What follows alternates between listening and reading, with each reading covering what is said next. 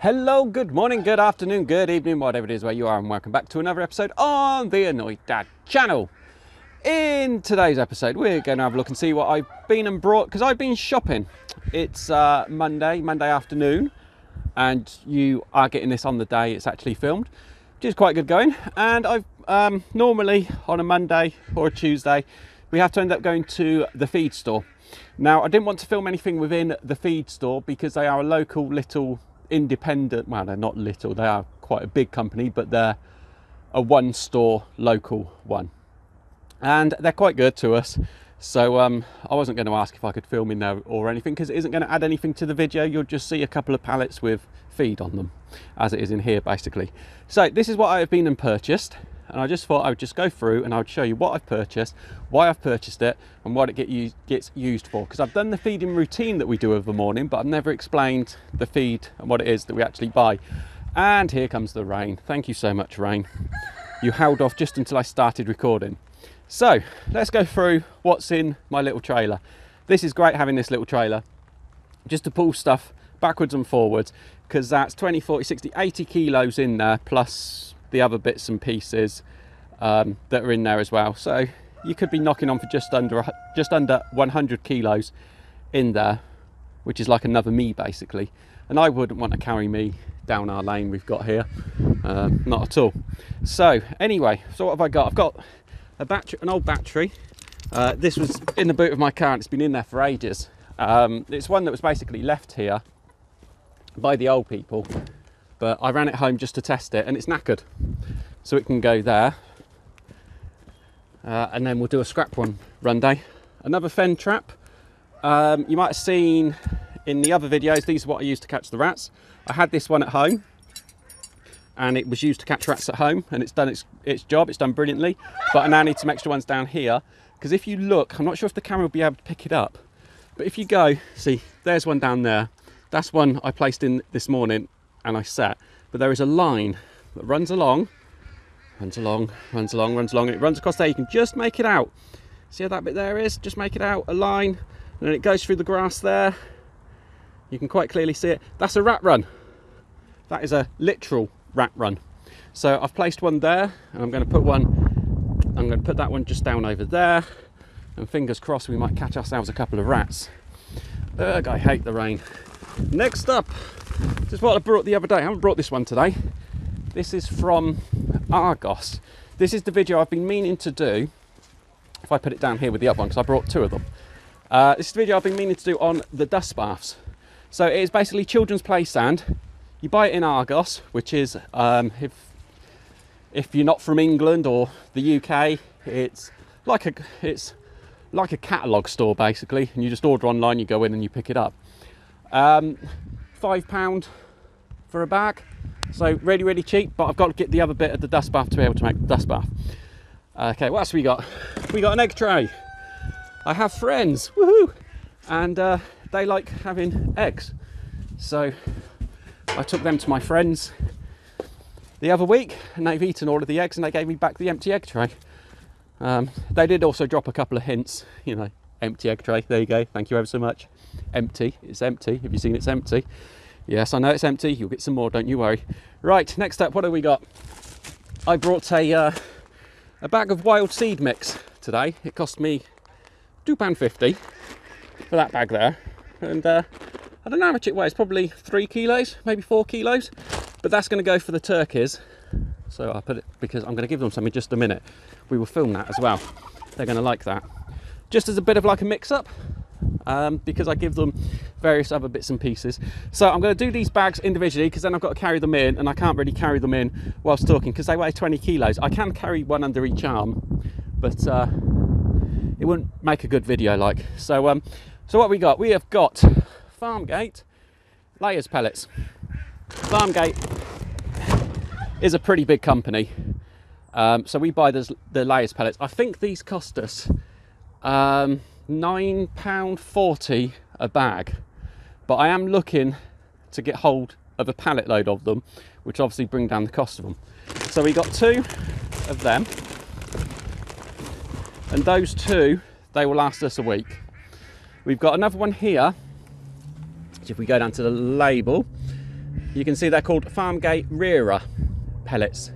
And these are basically for the younger birds. So these will be used for my wife's birds because they're not laying yet. So they will get them. That one there will probably last us a month.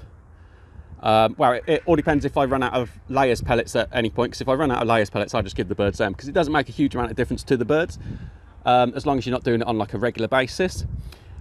Um, so yeah, that'll probably last us about a month. Um, again, that was £9.40, I think it was. And then I've got a 20 kilo bag of wheat. Um, this cost £8.40 and that'll last us again a week. This is the one that goes into the water that gets left for three days to soak and expand and then it gets fed to the birds. So yeah, that is basically my, my feed. That is what I feed them.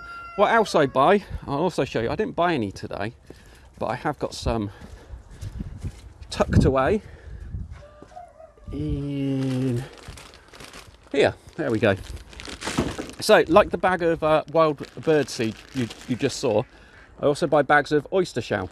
And these are probably two, three kilo bags again. £2.10 for the bag. And it is just broken up parts of oyster shell uh, for the birds to eat, which obviously then goes into the crop, which helps to break down their food. Um, so yeah, that's basically that. And if we go through to the turkles, I was listening to a podcast yesterday on turkeys. It was really, really interesting.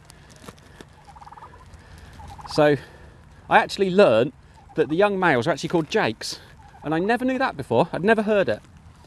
But um, apparently, yeah, they're called jakes.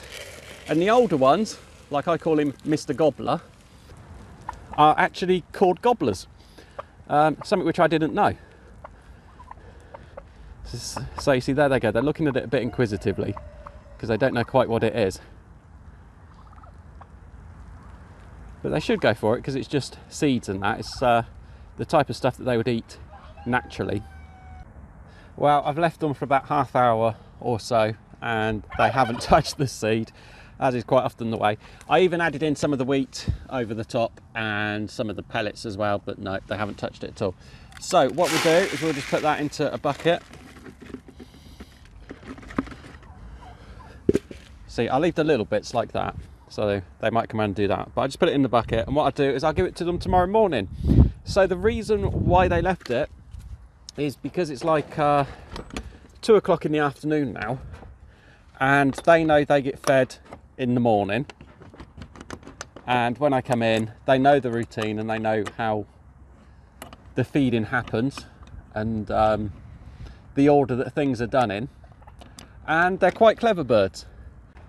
And they know that if I'm giving them any feed at this time of day, there might be something wrong.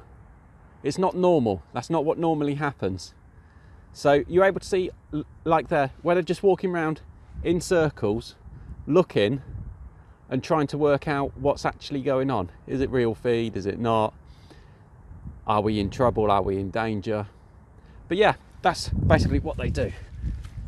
There's the other rat trap set up, ready to trap the rat. So I think the only thing that is left, are you still playing the annoyed dad drinking game? Every time he says so, take a drink. Uh, the only thing that's left is to say how much I actually spent on that little lot. Because uh, I don't think I put it in at the start. I went to the shop with, uh, what did I have? I had £40 in my pocket and I come away with 40p. So £39 and 60 pence for enough feed that will last me for the week and last the birds for a week um, and a few other bags that will go over. The reason why I done this one to explain it is because I also had to buy the growers and there was a couple of other bits and pieces that we added in as well just to show you. So thank you so much for watching. If you have not already done so, please do leave me a question down in the comments below. Wednesday's video is going to be the last of the daily uploads for the lockdown.